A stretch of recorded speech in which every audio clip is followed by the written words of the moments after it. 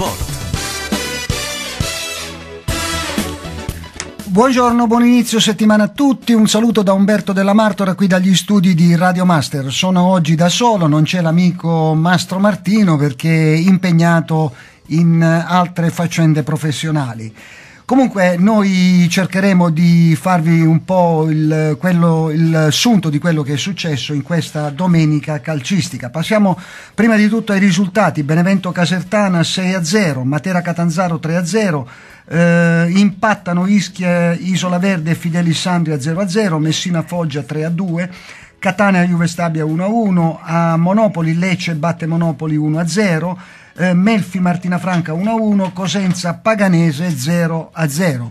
La classifica vede in testa il Benevento con 50 punti, Lecce insegue a 49, a 46 c'è la Casertana, a 45 Cosenza, Foggia scivolato al eh, quinto posto con 44 punti.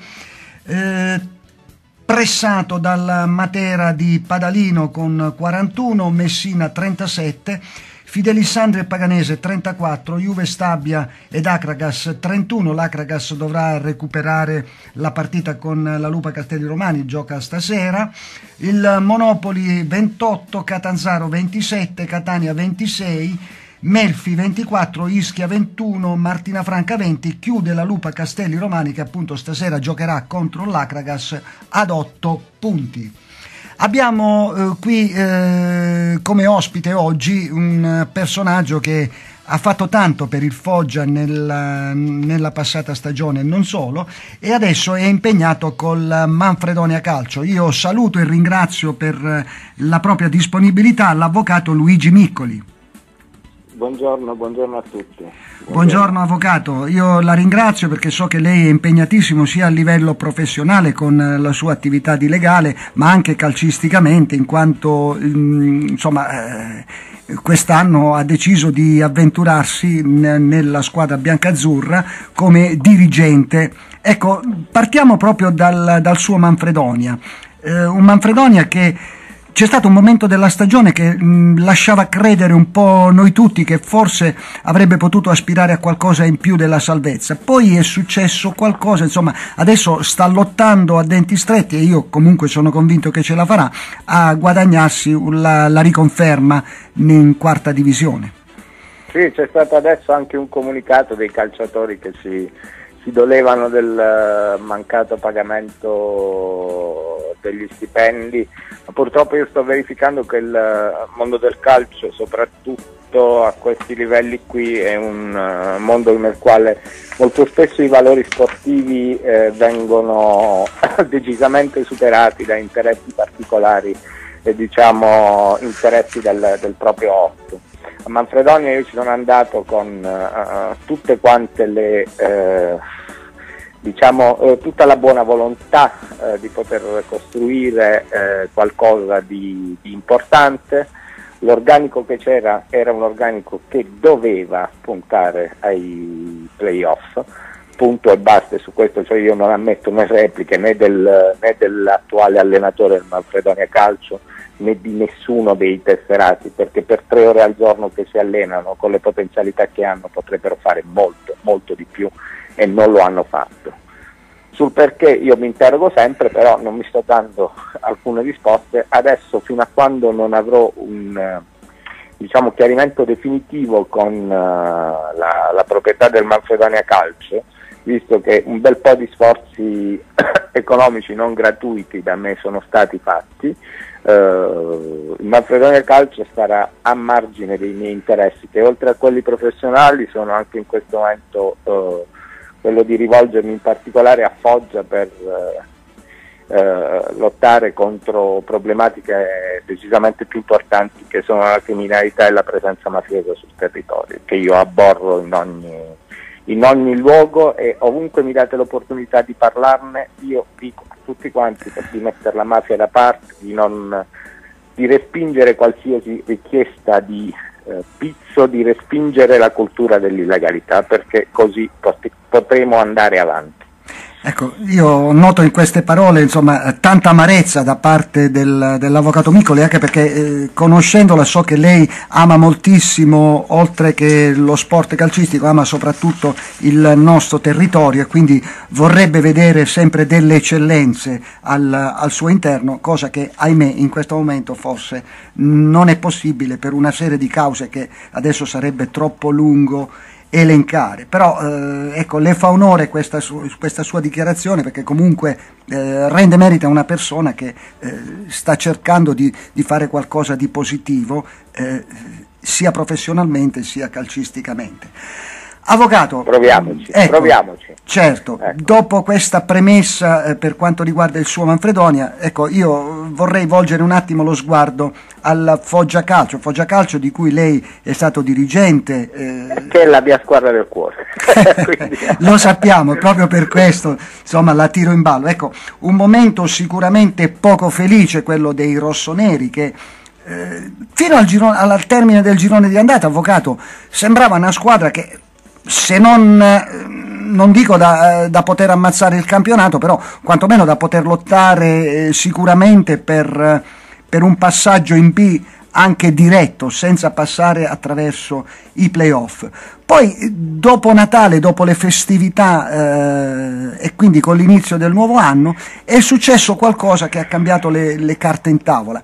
La squadra non è stata più se stessa, ha alternato eh, delle prestazioni anche positive ad altre eh, totalmente negative, eh, l'ultima dei quali è stata proprio quella di ieri contro il Messina, insomma, nella quale abbiamo avuto modo di vedere insomma, un, un, Messina che eh, se non ha maramaldeggiato quantomeno ha vinto meritatamente contro una squadra che sicuramente non ha dato il meglio. Il problema eh, che io ho visto quest'anno nel, nel Foggia, faccio una premessa, questa società qui, e non parlerò della squadra, non ho nessuna intenzione di parlare né dei tesserati né dell'allenatore, mi sono già espresso poi ieri su Di Bari, su quello che penso io su Di Bari, comunque.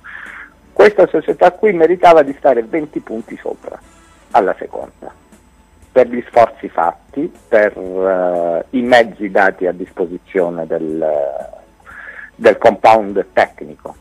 Certo. Doveva stare 20 punti sopra. Quello che non va non è che lei mi dice dopo Natale dicendo. Io eh, sono stato in trasmissione con lei dopo quattro partite dissi che bisognava, eh, che erano solo quattro partite e che bisognava dare il tempo di salire perché era una squadra che sarebbe salita senza problemi, del certo. resto ha un, tasso, ha un, tasso, tecnico che è straordinario. Eh, sotto questo profilo qui credo che non, eh, non abbia pari in tutti quanti i gironi di Lega Pro questa squadra. Detto questo, eh, la, la, cosa nella quale uno eh, si è imbattuto in questa spaventosa discontinuità eh, non sono le sconfitte fuori casa, sono i pareggi in casa quelli che a me hanno sorpreso più di ogni, di ogni altra cosa, certo. soprattutto con uno Zaccheria cioè che fa, eh, non è il dodicesimo uomo, è il dodicesimo, il tredicesimo, il quattordicesimo uomo, una società che ha fatto sforzi in mani, in mani quest'anno qui per puntare, per dare eh, alla città certo. eh, un traguardo in, importante. Un budget importantissimo eh, è stato investito sì. in questa squadra. Assolutamente sì, assolutamente sì. Eh, mm, non è un budget di una tornata e via, è un budget pluriennale e su questo ci sarebbe molto da parlare. Questo è anche la, quello che, che, io ritengo. Penso semplicemente una cosa, allora, che eh, De Zerbi sia un cultore del lavoro di quelli come poche, poche persone ho visto io nel mondo del calcio. È un lavoratore di una serietà incredibile, ma è anche una persona molto giovane. Certo. Ritengo, ritengo che la società abbia fatto tutto il possibile. Se lei mi chiede qual è il problema del Foggia Calcio, io eh, mi sono fatto nel corso del campionato più, più idee a un certo punto ho pensato che fosse una questione di preparazione, a un certo punto ho pensato che fosse solamente una questione di approccio. Eh, la realtà dei fatti, questo lo insegna anche il campionato di Serie, di serie A, è che la Lega Pro è un inferno vero e proprio, in cui tu partita per partita è una battaglia, non, certo. io non, non, non, utilizzo termini certo, finali. Certo. Partite facili non ce ne sono. Se, allora, in cui se pensi di metterci il 99%, dalla prima all'ultima in classifica non sai se vinci. Se vesti la maglia del Foggia, allora quando vai in campo fai il favore ai tifosi, e qui parlo di, da tifoso, certo. di metterci il 110%, altrimenti stai a casa, perché qua stai a Foggia, che è una signora di 96 anni che va rispettata. Certo. Questo io non l'ho visto. Ecco. Adesso mi si venga a dire mancano otto partite e tutto quanto ancora in gioco. È vero, ma non doveva essere così. Il certo. Foggia doveva stare su di almeno 10 punti rispetto certo. alla, alla, seconda. Cioè, certo. parliamoci in maniera molto chiara. Dove doveva stare il Foggia adesso? Sì, sì, doveva sì. essere capolista dall'inizio alla fine del campionato, perché con questi mezzi si è presentata. Avvocato, non potrebbe essere anche un, forse, non so, io, ecco, tra le tante ipotesi ci aggiungo anche la mia, una mancanza di eh, abitudini a vincere forse da parte di qualche calciatore? O una mancanza vediamo, magari anche vediamo, di concentrazione. Allora, Perché allora, come si spiegano eh, le alternanze, cioè queste alternanze tra partite magari giocate alla grande, ecco faccio l'esempio eh, di martedì scorso in Coppa Italia, 6 a 1 contro il Siena che comunque eh, aveva tutte le carte in regola per poter superare il turno di Coppa Italia. E poi eh, ma, la partita di ieri. Ma, eh, la prego di una cosa, signor Della Marca, Siena che aveva fatto nelle ultime quattro partite? Sì, sì, sì. Quanti no. gol aveva preso? Certo, certo. Ah. Quindi anche la eh. difesa, che era una delle difese meno battute del, di tutta la categoria, è diventata, mm, se non un colabrodo, insomma qualcosa che ci va molto vicino. Fino a che fai un gol in più dell'avversario va tutto bene. Questo è quello che penso io, fondamentalmente. Questo è, la, è, la, è, la, è il discorso che, che, faccio io. No, io, uh, io caro Umberto, non... Uh, io prendo atto di una cosa, prendo semplicemente atto di una cosa, che se i giocatori avessero guardato alla metà degli sforzi che ha fatto la compagine società, non saremmo stati 20 punti sopra, dovevamo stare 10 punti sopra, punto.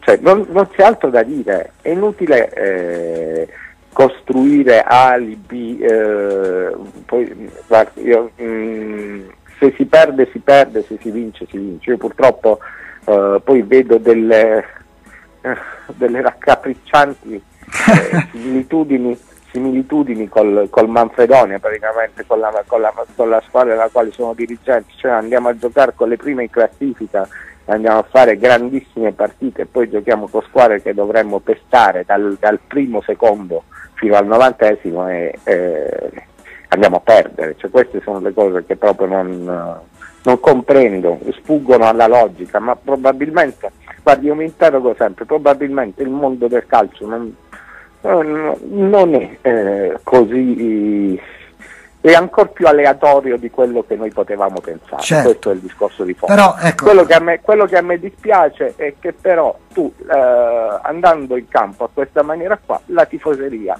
eh, alla tifoseria fai male, fai molto male praticamente, perché eh, la tifoseria sarebbe in grado di accettare un, un, ottavo posto, un quinto posto dove uno si è giocato tutte le carte a viso aperto, certo. con grande, piuttosto che vedere occasioni perdute. Io credo che il malumore che si stia creando eh, sia dovuto alle continue occasioni perdute eh, certo. eh, che abbiamo visto nel corso del campionato e eh, un po' di esperienza in Lega Pro io ce l'ho eh, e mi assumo le responsabilità di quello che dico.